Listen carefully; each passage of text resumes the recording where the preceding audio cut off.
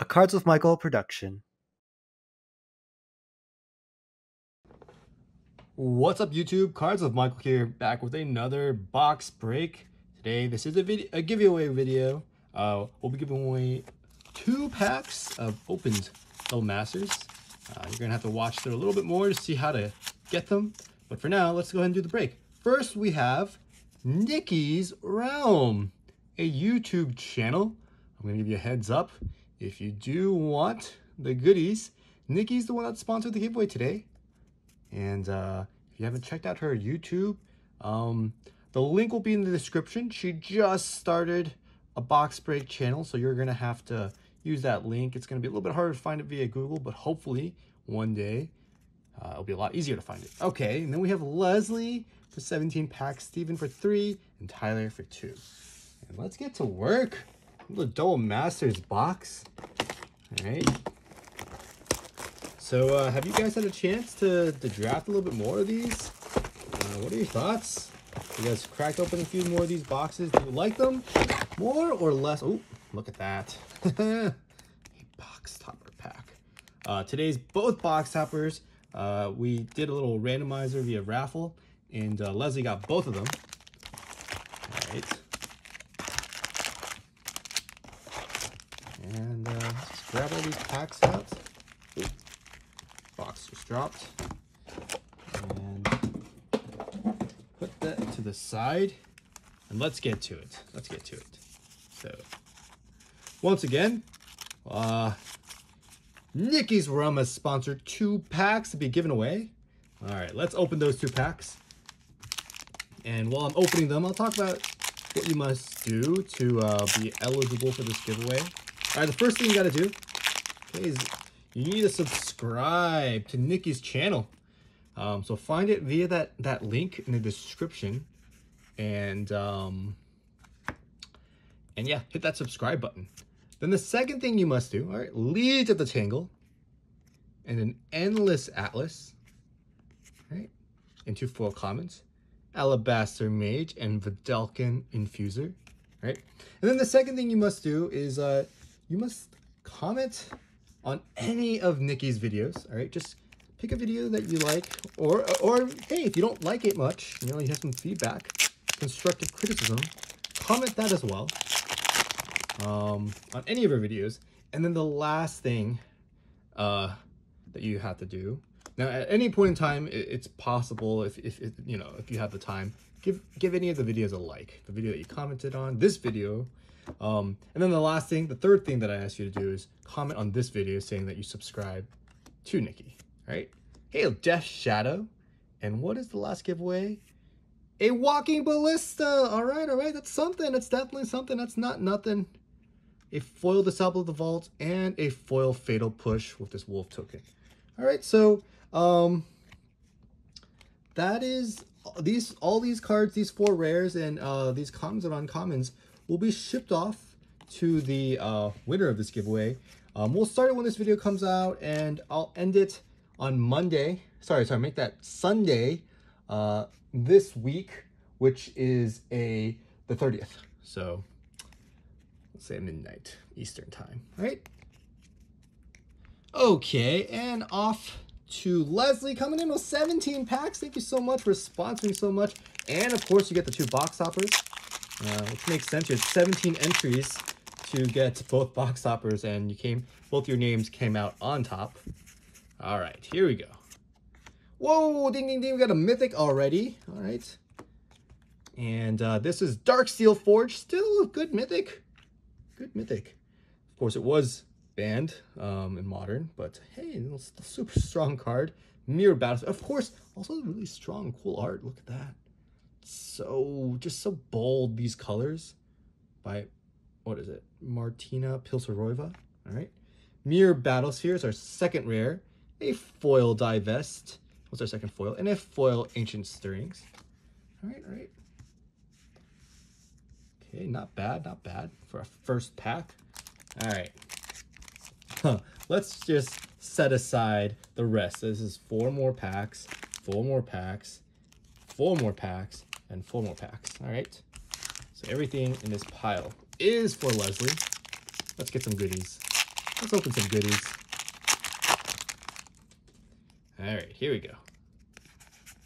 Here comes pack. Ooh, nice little Urza's power plant. This is pack number, I believe, two for Leslie. Hey, Lightning Greaves. Gorgeous. Yavimaya Embrace. I love this card. And another Mythic. Ding, ding, ding. An Imperial Recruiter.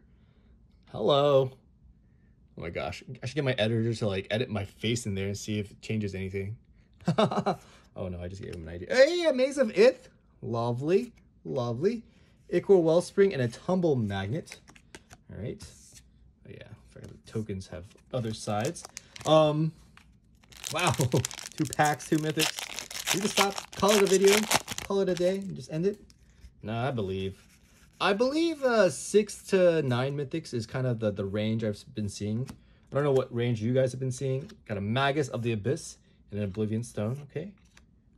All right, and two foils. All right, a Strix and a Crib Swap. Yeah, so let me know what you've been seeing. Uh, let me make these piles a little bit better.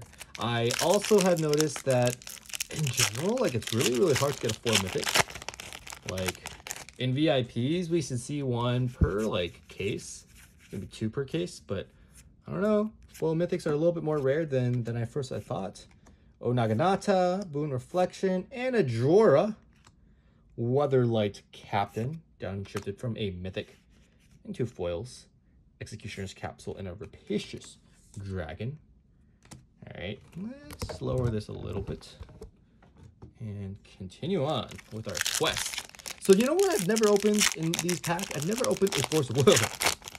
We've opened Mana Crypt and Foil Mana Crypt in these booster packs, um, but we've never opened a Force of Will uh, like the original Force of Will. Well, not the original, but the uh, Eternal Masters version. All right, we have a Sunken Ruins here and a Blink Moth Nexus, all right? And we got a Chromatic Star, look at that, a shiny rainbow, and an Accomplished Automaton, all right? Ape. Okay, into the next pack.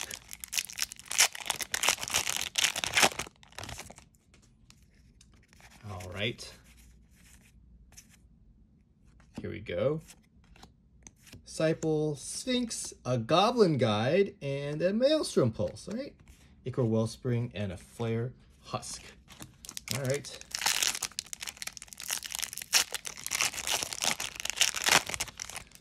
Oh man, it's that time of the video where we do talk a little bit about, uh, you know, things financy related on sealed product. Um, it seems like set boosters are going to be hard to find. All right, that's the headline uh, Zendikar Rising. Um, you know, we were expecting to get, you know, a decent amount, maybe close to the amount that we get for uh, draft boosters. And that number is, I don't know. I think it's more like most stores that, that are like kind of volume we'll get like 48. Um, I think it's it's it's kind of like telling when uh, it's kind of sold out on Amazon and Amazon's price has gone up a little. Um, and it looks like it's to settle around like the 129.99 range. Like that's, ooh, another mythic.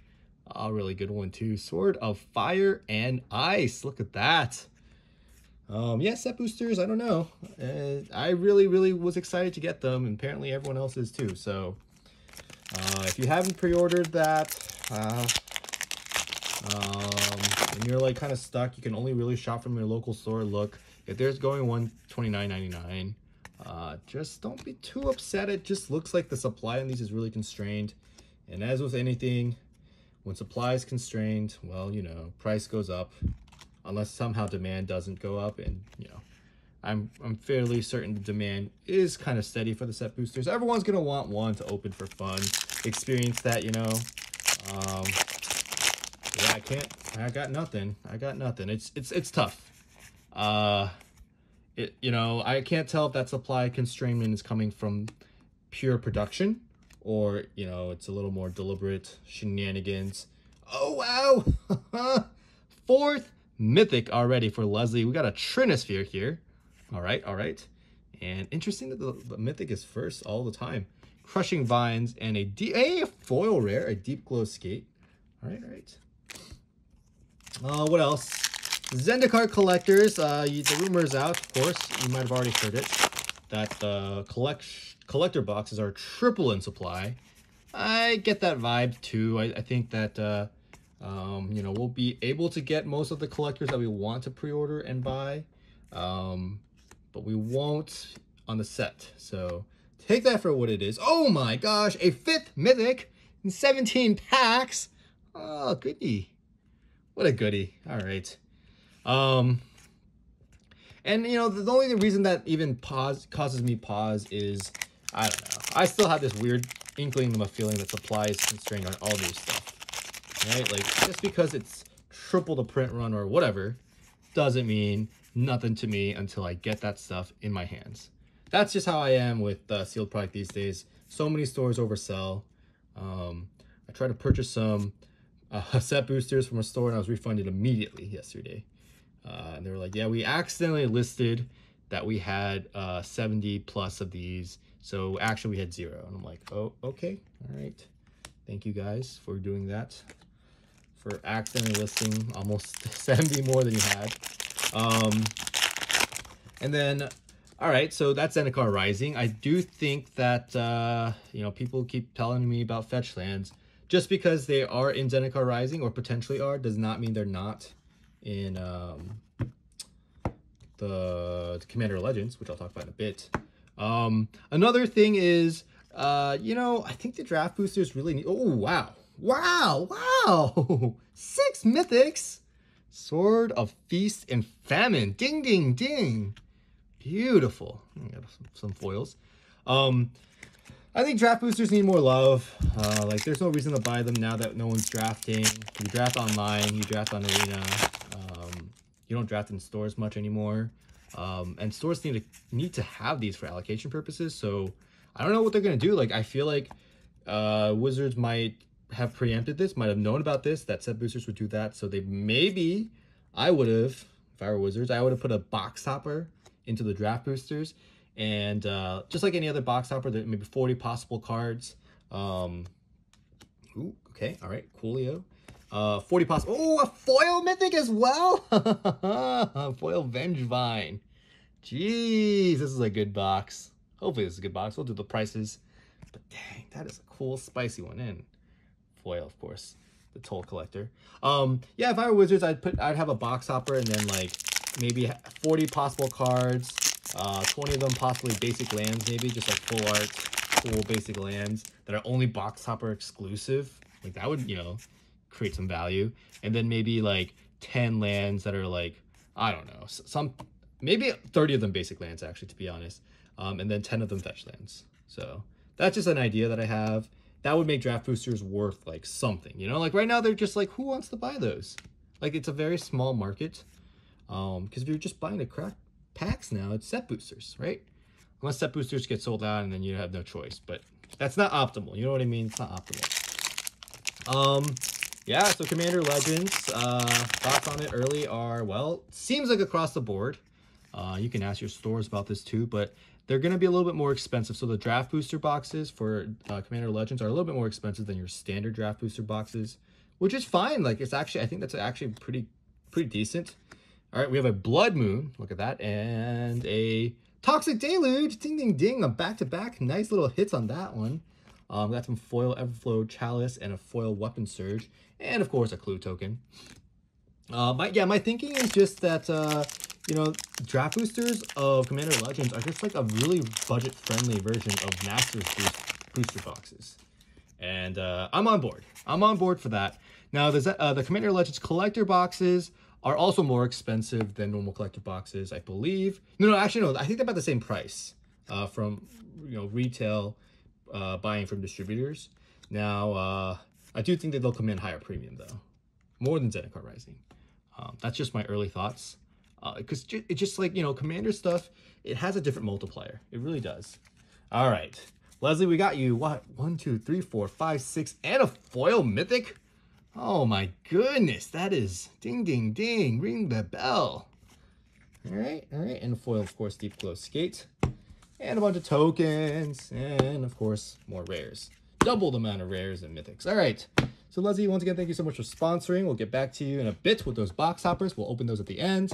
Um, but for now, Stephen L, we got three packs for you. One, two, and three. Is that one of each art? Yeah, that is one of each art. Awesome, awesome. Commander Legends. Uh, all right, let's let's get that thing out. Let's get this out of the way. It is the most exciting set for me ever. It was the most exciting set when on a release. It's something I'm so excited for. I love draft. I don't really play Commander. Uh, and then, ooh, a nice little foil Urza's power plant. All right, a little bit of value there. Um, one of the reasons why I am excited for it is because I love Commander Draft. Like, I've been trying to get that to work. I, I host a lot of Chaos Drafts, and I've been trying to get that to work. Uh, I, I've also seen cubes, all right, that do Commander Cube. Um, and I just, like, I've been trying to get that to work for years. And when they released this product as an idea, and I was like, oh my gosh, Wizards, smart guys. Oubliette, nice little value card. And Braids and Mazirek and a foil Golem Skin Gauntlets. All right, all right. And the last, Hakaru for Steven. All right, let's get to it. Let us get to it. So yeah, I'm, I'm super excited to draft it. I'm super excited to crack uh, collector packs, get cool commander staples. Like everything about it is just something I'm excited about. The only thing I'm not excited about is trying to pre-order now and give free interest loans to multiple stores. All right, so a little foil fetid heath, not bad. That's like, you know, like, do we want to do that? I, I guess if you want to lock in really, really potentially cheap prices, um, but I don't know. I'm not really ready for that right now. I, I haven't even, the ink isn't even dry. In fact, the ink is so not dry in Zendikar Rising. We, like most stores don't even know how much they're getting. And now like some stores are taking in money. Look, like I think it's, you know, if you're a good business person, you, there's an opportunity. People want to buy into the hype.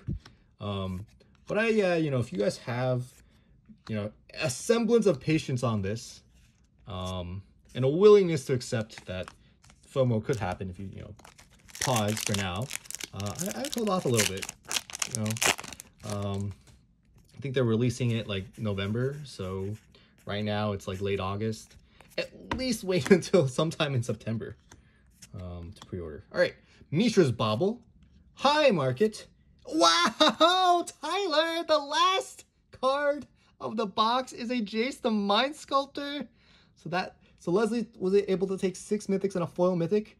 And Jason, you were able to nab a Jace the Mind Sculptor. Look at that. Kuldotha Flame Fiend and a Dark Steel Axe. All right, all right. Okay, well, nice little pull there. I mean, these cards are still, still valuable. Doesn't matter how many times you print this card, it's still it's a staple. It's a staple in many formats. All right, let's put that away, get to the box toppers. And once again, a reminder that the first two packs we opened for Nikki, um, a quick refresher, Walking Ballista, Death Shadow, Endless Atlas, Liege of the Tangle, and of course a bunch of commons and uncommons, uh, will be given away to one lucky winner. Um, whoever is able to follow the three steps I talked about in the early part of the video. I'll talk about them again. Basically, subscribe to Nikki's Realm, her channel, and um, comment on any of her videos. Give some honest feedback. Like, do you like what she's doing? You know, if you have any feedback on how she can improve, how she can win your time to view her videos. And then also comment here um, on this video to let me know that you did that. And uh, I will get you in that giveaway. It'll end this Sunday, by the way, August 30th. All right, here are the box toppers. Got an Urza's Tower. And what is the next one? Mark Poole coming in with a exploration. All right, that is the video. Hope you guys had a good time, and I will see you on the next one.